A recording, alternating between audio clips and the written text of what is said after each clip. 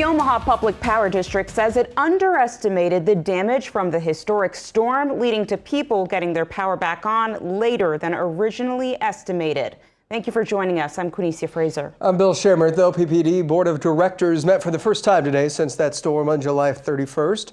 KETV News Watch 7's Alex McClune is live with the lessons learned. Alex.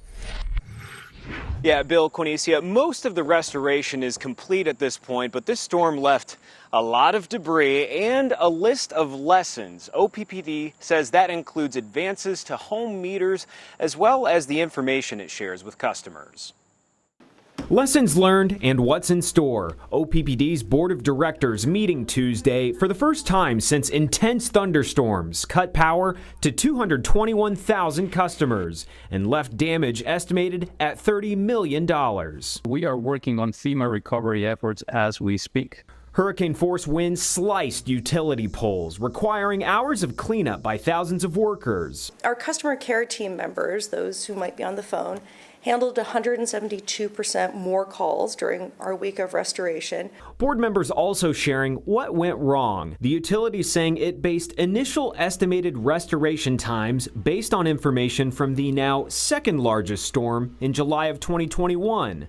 This year, crews discovered destruction worse than expected. Significant more damage than what we had saw in 21. Crews found more damaged cross arms, transformers, fuses, and poles, forcing a second round of robocalls and a shift in estimated restorations for residents waiting through the August heat. A lot of the work was in backyards. A lot of climbing. We couldn't get our trucks and machinery to every pole. Most of the restoration now complete and efforts are underway to upgrade information and data shared with the public. All of that is coming. The CEO also doubling down on upgrades. Officials are still looking at placing some lines underground and installing advanced meters at homes, which will report outages directly to OPPD. We will begin deploying those uh, just in the next few months.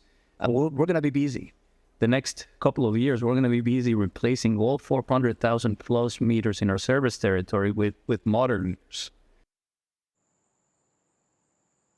The storm long gone, but OPPD board members expect to share more updates from the storm and its future efforts in the coming months.